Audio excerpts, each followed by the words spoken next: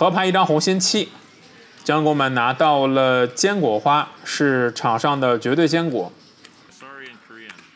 欢迎来到大鹏的周，今天我们带来哈斯勒娱乐场周末高额周，场上的盲路级别是小盲一百刀，双大盲两百刀，盲路加起来一共是五百刀。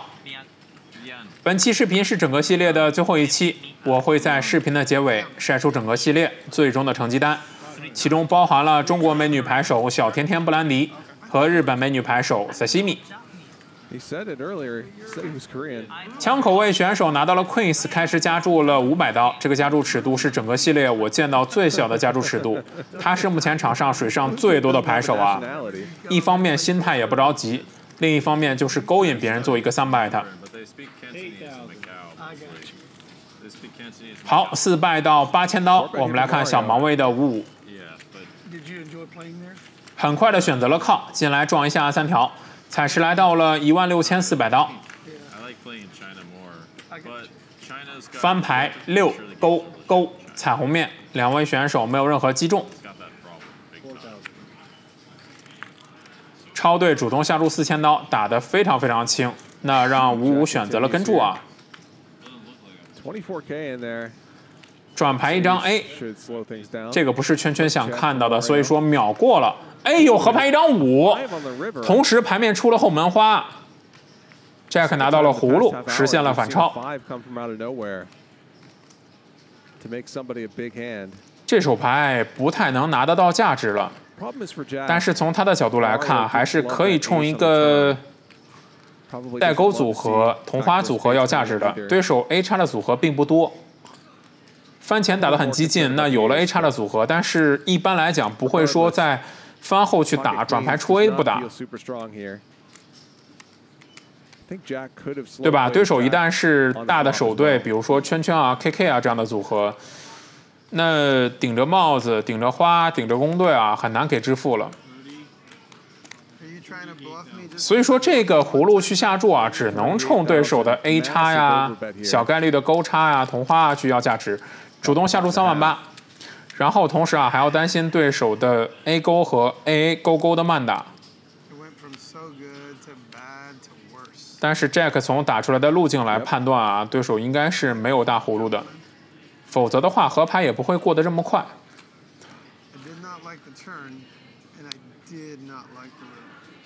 马瑞奥这手牌打的有些锁水了，就是他是目前场上水上最多的牌手，翻前打的很激进，翻后啊打一枪以后啊转牌出 A，常规情况下来讲可以再锤一枪，因为这张 A 是对自己范围有利的啊，结果是翻后和转牌加起来就只锤了四千刀，让 Jack 觉得他的牌力是并不强的啊，所以说和牌出五以后在前位也是敢主动要价值了。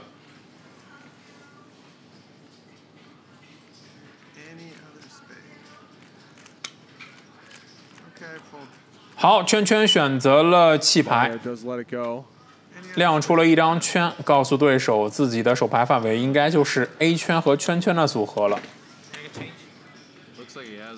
Jack 这手牌打的还是不错的啊，就是说运气也确实好，也占一方面。但是河牌能够判断的很清晰，打出一枪价值下注啊，是非常出色的。我们对一个牌手一手牌的评价不能全看结果啊，要看过程。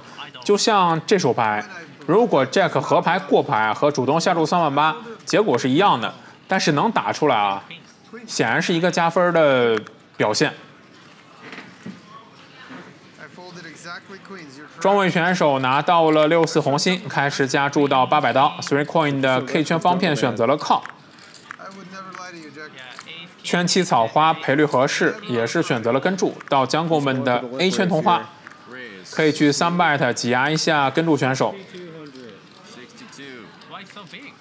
三倍到六千两百刀，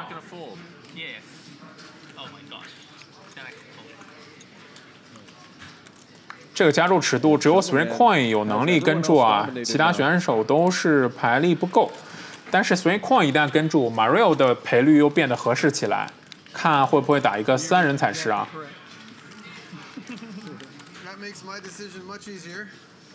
好，并没有。那两位选手打单挑，才是来到了一万四千两百刀，两位选手的胜率是三十一对六十九。翻牌 K 五十，两张红心。K 圈方片拿到了一个顶对，好替角，抽后门的花花顺。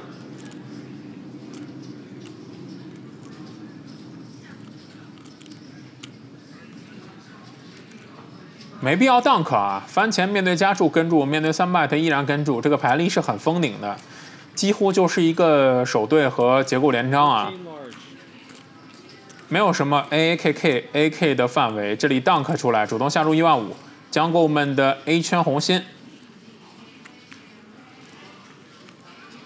花顺双抽，抽坚果花卡钩的听顺，同时还有一个后门的皇家同花顺啊。坚果范围优势十足，选择了跟注。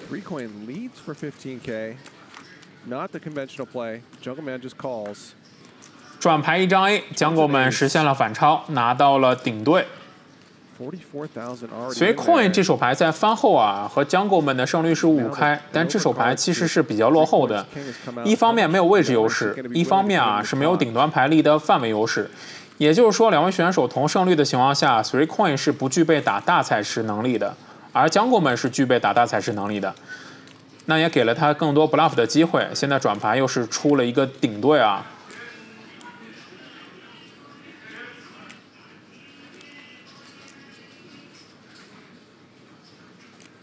所以 coin 的胜率只有百分之八了，无奈的选择了过牌。我们来看江国们，合牌给一张红心勾啊，就有趣了。两位选手同时成顺的情况下，江国们还拿到了一个童话，这个就变得异常惨烈了。我们先来看这条街，江国们主动下注，他是目前场上水下的选手啊，急需要回一些水，主动下注一万三。我们来看 three coin。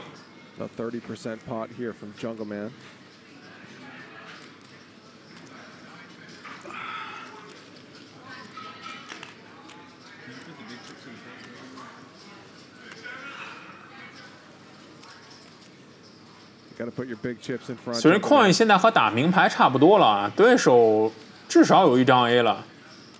翻前三 bet，然后翻后锤，呃，翻后被 dunk 还跟住，转牌直接锤啊，这个牌力很难是纯空气啊，只有一个非常非常小概率的勾圈红心，就是一个花顺双抽啊，勾圈的话现在也成顺了，所以说这个 K 圈不赢什么了。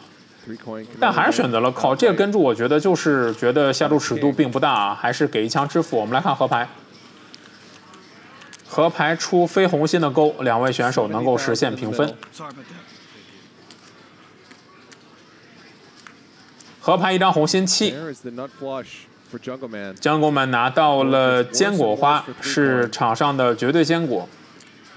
盘面没有公对就不出葫芦和四条，没有同花顺上的组合。但是这张红心七啊，给了 Three Coin 一个 bluff 的机会。这手牌有趣的点就在于这儿啊，他在前位倒是能够主动打出来了。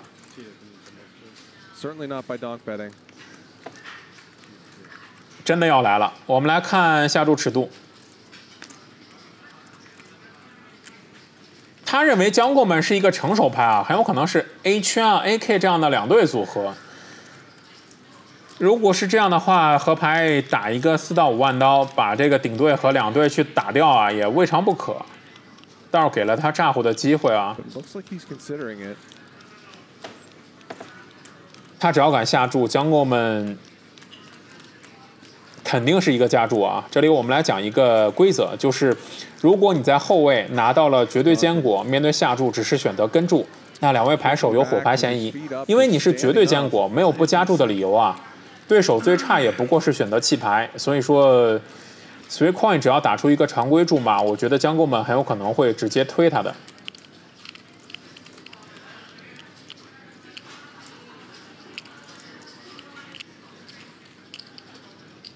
这个樱桃一样颜色的筹码，一个是五千刀，这里应该是拿了三到四个啊。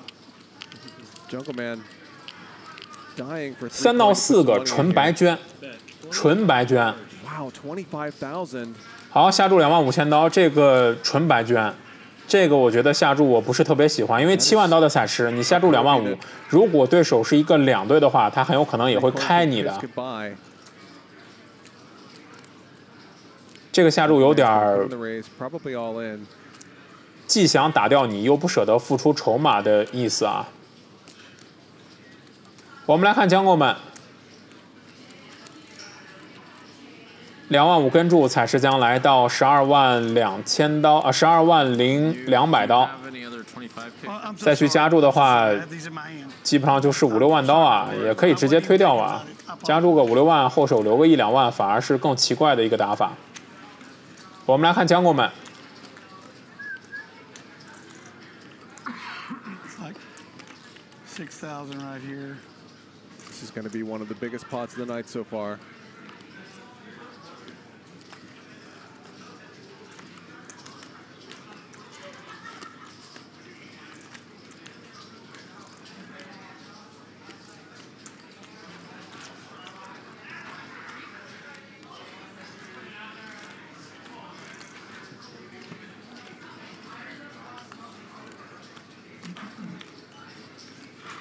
将购们这里好，最终还是喊出了那个人生中最重要的台词 “I'm all in”。他这个就是控一下节奏啊，all in 肯定已经是早早的就想好了。现在扮演一个，哎呀，这个其实没什么好扮演的。我觉得 three coin 肯定是接不住了啊。即使将购们在拿着坚果阻断做 bluff，就是拿了一张红心 A，然后利用这个坚果花在做 bluff，那 K 圈也是没有抓鸡能力了。对吧？那抓鸡没鸡大，完全没有意义了。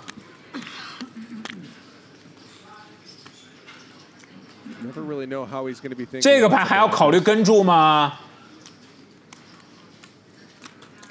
咱们退一步说啊，将公们拿了一张红心 A，这里在表演自己是坚果花，你能抓鸡吗？抓不了的。你不能指望对手拿纯空气在偷你啊，这个就自己给自己讲故事了。